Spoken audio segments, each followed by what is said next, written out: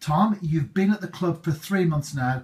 A great opportunity to catch up. But first of all, before we do look at TNS, let's go back into your past. You started at Bradford City, and that was the club that you supported as a boy. So that must have been a real honour and privilege to join their academy.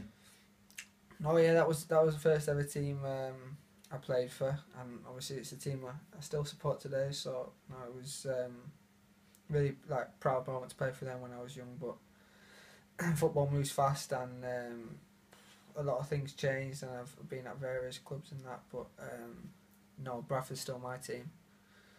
At what age did you realise that you were going to be a professional footballer? What was it while you were at Bradford City? No, never like that. When you're young, you just play for fun. You just play because you enjoy it, and you know you're with your friends and that. And you never really think about where it could go. I mean, when you get to 15, 16, and, and they offer you, I got offered a scholarship at Man City. That was when you start thinking, you know, maybe I could do this as a um, as a job and make money out of it for the for the um, for the rest of your life. That's obviously the aim. So it wasn't until I was about 15, 16 where, where you really start thinking about them things.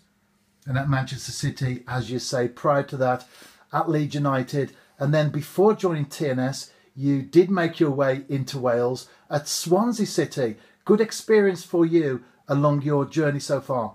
Yeah, Swansea was was a was a uh, it was a good team for me. I I enjoyed it there. I was there for two years. Um, never never really managed to get anywhere near the first team or anything there, but we we um, we played in the Checkatrade Trophy. That's against in the League One, League Two teams in England, and I had I had five games in that, so that was a good experience. Um, but no, I really enjoyed it there. Teams like Swansea and Man, Man City, it's it, um, both good teams that play good football, and you know I, I followed that in coming to TNS. So you know there wasn't much much of a difference in style of play, so it so it set it, um, it set me up well for, uh, for coming to TNS.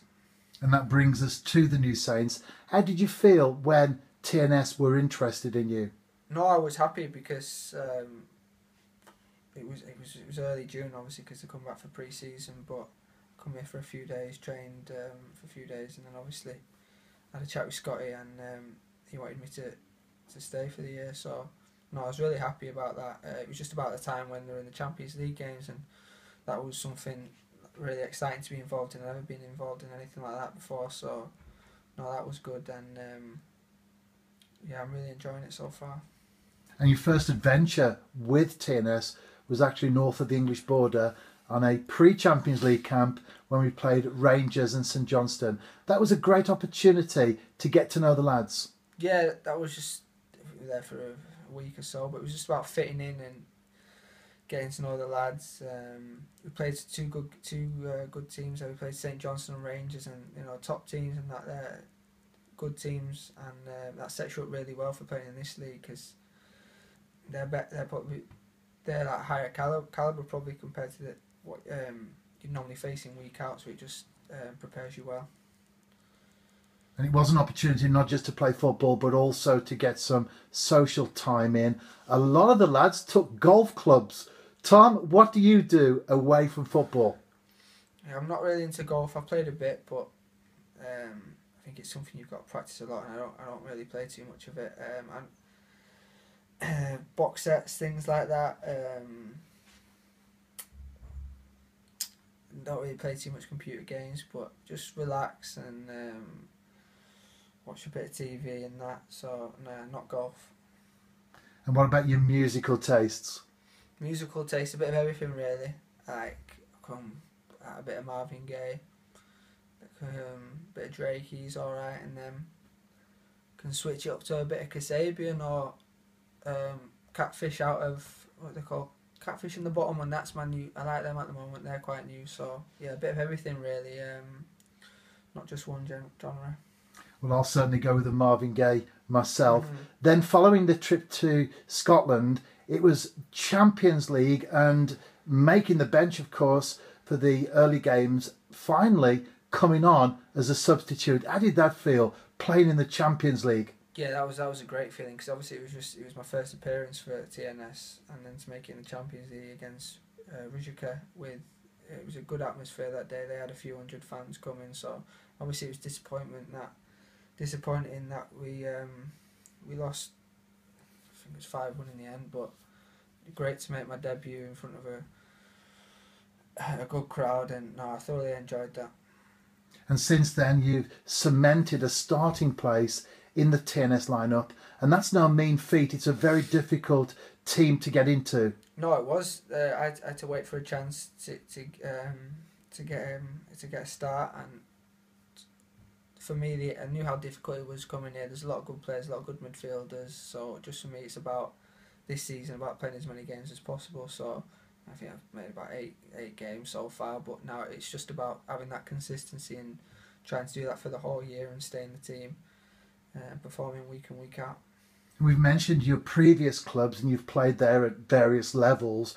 How does the Welsh Premier League compare to some of the competitions that you've played in prior to joining TNS?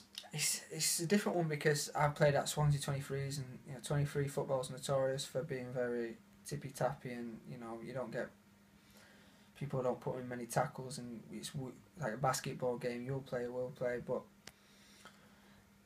I'm but what I've I've learned I think I've improved this year is um, playing against different styles you know you're coming against a lot of more direct teams in the Welsh League and for me it's about competing more and winning them second balls but also when we've got the ball playing with it, and because uh, that's something that TNS are notorious for doing. So in that respect, it hasn't changed too much the way we play, but definitely playing against more direct teams this season and um, more physical teams has, has helped me improve.